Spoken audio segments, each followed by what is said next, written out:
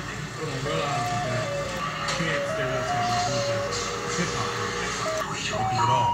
Hip hop, trance, pop, techno, rock, R&B. They, we've done it. It don't matter if the beat is hot, we gonna kill it. We here to make music. Bottom line, we have a whole lot of fans from different genres of music, so we gotta make sure that we keep a connection. You know, connected like, drop the like.